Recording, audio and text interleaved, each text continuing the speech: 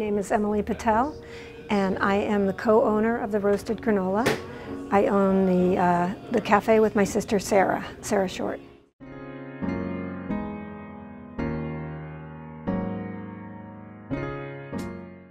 We, uh, we are a cafe with um, a, a, full coffee and espresso bar, um, as well as a, um, a sort of uh, limited lunch and breakfast menu. We have egg sandwiches and smoothie bowls and yogurt bowls, oatmeal, um, toasts, things like that.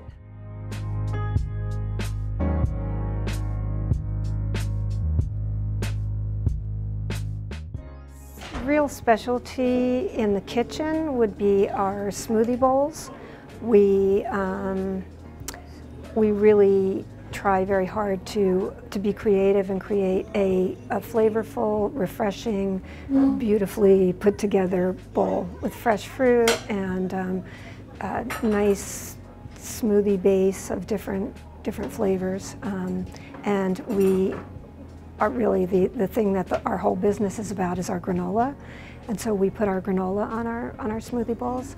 We have three different types of granola. We have a, our original granola, which is sweetened with honey, then a, a maple pecan granola, and then a, um, a granola with cacao nibs and hazelnuts in it.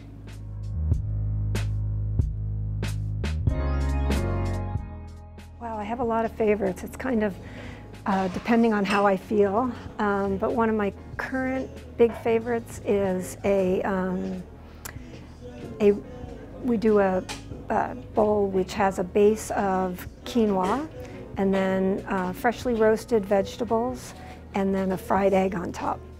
So um, that's really satisfying. Um, and then we have put a lemon tahini dressing on, on top of everything. And um, yeah, it's really satisfying and good.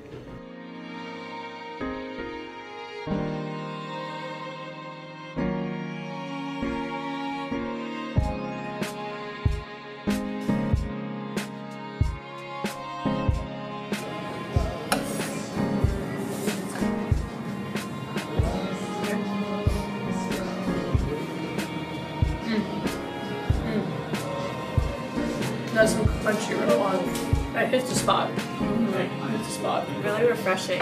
Extremely refreshing.